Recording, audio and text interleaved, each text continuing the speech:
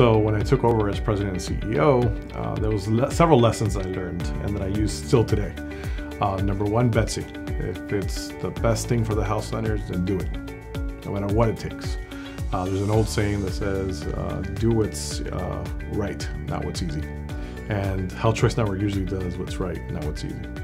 Number two from Kevin, um, it's uh, he always says, "If it sticks to the mission, if it's if you stick to the mission, you'll never be wrong."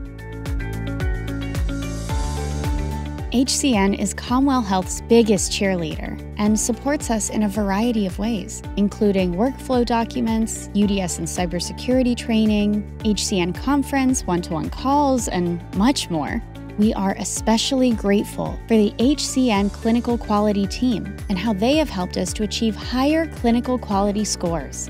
HCN is our family, and we would not have the success we have without their support. Well, there's been a plethora of examples where BCOM has benefited from HCN's IT leadership. So, the most recent and most impactful example HCN working diligently to acquire a unique model of the Epic EHR system for FQHCs. This was not only a monumental accomplishment, but a huge win for BCOM. The journey to implementing a new EHR system is not an easy journey.